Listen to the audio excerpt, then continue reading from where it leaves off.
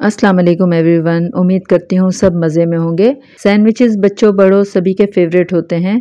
कभी कभी जी चाहता है कि रोटी और चावल से हटकर कुछ बनाया जाए और खाया जाए। तो चलें, आज बनाते हैं मज़ेदार से चिकन ग्रिल चीज़ सैंडविचेस, जो कि टेस्ट में और लुक में बिल्कुल रेस्टोरेंट स्टाइल तैयार होंगे। बहुत ईजी तरीके से आज हम ये सैंडविचेस बनाएँगे। तो चलें, अपनी रेसिपी की तरफ़ बढ़ते हैं।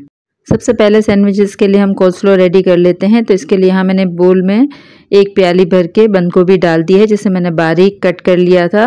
दो गाजरों को मैंने ग्रेट कर लिया था, वो भी इसमें डाल देंगे। तीन टेबल स्पून मायनीस डालेंगे थोड़ा सा नमक और काली मिर्च डालकर इन सब चीज़ों को अच्छे से मिक्स कर लेंगे। कोल्सलो हमारा रेडी है। अब हम चिकन को मेरीनेट कर लेते हैं। तो सबसे पहले एक बोल में one tea ginger garlic paste डालेंगे। हाफ़ टी स्पून इसमें सॉल्ट ऐड करेंगे। One teaspoon chilli flakes, one teaspoon red chilli powder, half teaspoon black pepper powder और वन टीस्पून तिक्का मसाला इसमें ऐड करेंगे। One tablespoon chilli sauce one tablespoon vinegar one tablespoon soya sauce इसमें डाल देंगे। थोड़ा सा ऑयल ऐड करेंगे और इन सब चीज़ों को पहले अच्छे से मिक्स कर लेंगे। इसके बाद इसमें हम चिकन ऐड कर देंगे। तो यहाँ मैंने हाफ़ के जी चिकन के फिले ले लिए थे, जिन्हें मैंने बहुत बारीक कट करवाया था। तो ये सारे फिले भी इसमें ऐड कर देंगे और अच्छे से इन्हें मिक्स करेंगे ताकि सारे चिकन पर मसाला अच्छे से कोट हो जाए। आधे घंटे के लिए इस मेरीनेटेड चिकन को हम रख देंगे। जब तक हम बाकी की तैयारी कर लेते हैं तो यहाँ एक बोल में दो अंडे मैंने ले लिए हैं। अंडों में थोड़ा सा नमक और काली मिर्च ऐड करेंगे और अच्छी तरह से इन्हें फेंट लेंगे। तो चलें सैंडविचेस के लिए ऑमलेट रेडी कर लेते हैं। इसके लिए यहाँ मैंने एक पैन को चूल्हे पर रख दिया है। थोड़ा सा ऑयल इसमें मैंने डाला है और अंडों को इसमें डाल दिया है। अंडों को डालने के बाद थोड़ा सा फैला लेंगे। एक साइड कुक हो जाएगी तो इसकी साइड चेंज कर लेंगे। तो अंडों को बहुत ज़्यादा ओवर कुक नहीं करना है ताकि सॉफ्ट सा ऑमलेट रेडी हो। तो ऑमलेट हमारा रेडी है, इसे एक प्लेट में निकाल लेते हैं और बाद में इसे हम पीसेज में कट कर लेंगे। सैंडविचेस बनाने के लिए यहाँ मैंने मीडियम वाली ब्रेड के स्लाइसेस ले लिए हैं तो सबसे पहले हम इनके कॉर्नर्स कट कर लेंगे। तो आप चाहें तो इसमें बड़ी वाली ब्रेड का भी इस्तेमाल कर सकते हैं। तो यहाँ मैंने सारे कॉर्नर्स कट कर लिए हैं तो अब ब्रेड को हम थोड़ा सा ग्रिल कर लेते हैं।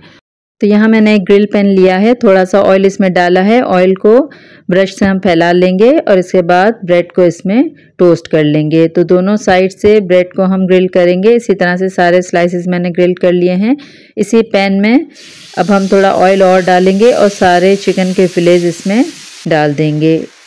एक साइड से फिलेज पर कलर आ जाए और ये पक जाएँ तो सबकी साइड्स हम चेंज कर देंगे। तो इस चिकन को पकने में ज़्यादा देर नहीं लगती क्योंकि यहाँ जो हम फिले यूज़ कर रहे हैं, वो काफ़ी थिनली स्लाइस्ड हैं।